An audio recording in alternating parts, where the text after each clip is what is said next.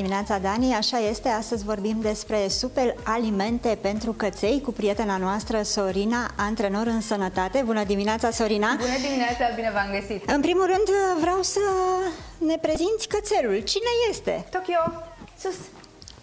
Este o fetiță? Ea este o fetiță, un labrador pe care o cheamă Tokyo și mănâncă foarte mult brocoli. Cum? Cu ce hrănim uh, indiferent, căței?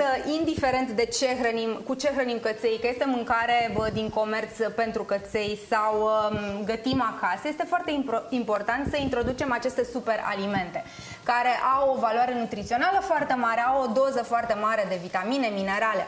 Și am făcut aici un mix uh, de câteva fructe, legume și semințe pe care bă, eu îi le dau lui Tokyo bă, în fiecare zi. De exemplu, merele sunt foarte bune pentru igiena orală. Deci exact cum mâncăm noi un măr, știi, și ne, ne ajută pentru, pentru dinți și pentru gingii, la fel este foarte, foarte benefic și pentru căței.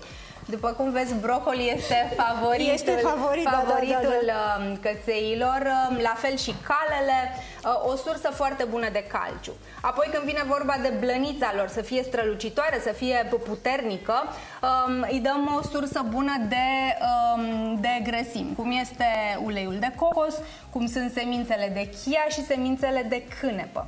Uleiul de cocos îl punem în mâncare, nu? Da, pur și simplu luăm o linguriță de ulei de cocos și adăugăm în mâncare. Eu toate aceste alimente îi le dau crude. Uh, este foarte, foarte important de, de știut ce alimente sunt bune pentru căței și ce alimente nu sunt bune. De exemplu, chiar dacă avocado este un uh, super aliment pe care noi îl consumăm, um, nu este benefic uh, pentru căței căței. Uh, la fel ceapă, usturoi, să nu mai vorbim de ciocolată, zahăr, sare, care cu siguranță nu au ce să caute în dieta unui cățel. În schimb, putem să-i dăm turmeric și ghimbir, antiinflamatoare, antioxidante, care sunt foarte benefice pentru sistemul digestiv și sistemul imunitar. Deci există foarte multe variante pe care le putem lua de la piață sau de la supermarket și să le uh, adăugăm în dieta cățeilor. Uh, semințele? Semințele, da, semințele de chiar, semințele de cânepă, pur și simplu o linguriță de semințe uh, puse peste, peste mâncarea cățelului, o sursă foarte bună de fibre, de omega-3, acizi esențial grași, deci, uh, da, de ce nu? Da, banane, îi dăm banană? Da, banana este foarte bună. Banana conține potasium, vitamina A și este o gustare super de înainte de o ieșire în parc, de exemplu.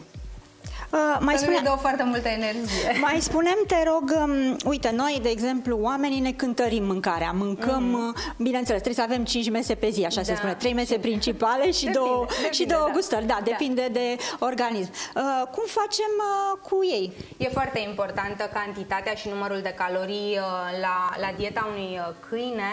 Acum, în funcție de cât de activ este cățelul respectiv. Da? Deci dacă este un cățel activ care iese de câteva ori pe, pe zi la alergare, la plimbare, atunci normal poate să mănânce mai mult. E ca la noi, câte calorii consumăm, câte calorii ardem.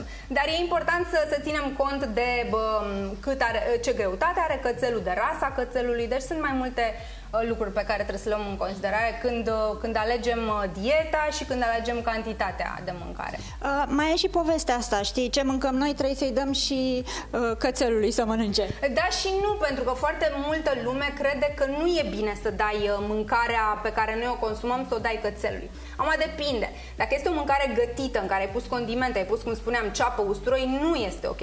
Dar dacă sunt ingrediente proaspete, crude, pe care noi le consumăm oricum uh, și sunt benefice bă, dietei umane, este, sunt benefice și, și cățeilor. Dar, bineînțeles, și bobițele lor speciale. Acum depinde ce alegi să, să hrănești, da, deci când alegi bobițele lor, la fel să fie bă, o mâncare cât mai curată, Uh, cu ingrediente cât mai puține, la fel cum alegem și noi mâncarea din supermarket, trebuie să ne uităm pe lista de ingrediente și să vedem că sunt uh, ingrediente curate și naturale. Uh, ciocolată, nu avem voie niciodată, nu, nu, nu? Nu, deci ciocolată nu, sare, zahăr, genul acesta de, de alimente care oricum nici nouă nu ne fac bine. În schimb, oamenii mai pot să mănânce din când în când, căței în schimb nu deloc. Uh, citeam undeva că și afinele sunt uh, bune da, pentru da. căței, nu? Uite, sunt aici. da. Le-am pregătit, Așa. sunt o sursă foarte bună de antioxidanți uh, și da, le, le fac foarte bine. Tot la fel, câte o lingură de afine pusă peste, peste mâncarea lor. Sau poți să folosești genul acesta de gustări între, decât să le cumperi biscuița și bă, pentru căței, de ce să nu le dai, nu știu, o bucată de brocoli sau un măr sau un morcov. Morcovul este favoritul cățeilor. Ia să vedem, Tokyo mănâncă morcov? Mănâncă, Tokyo nu? mănâncă orice. Asta. Este ca, foarte fericită ca astăzi, nu? nu? toți labradorii.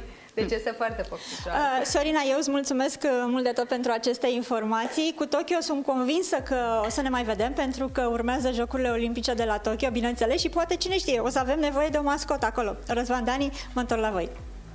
Mulțumim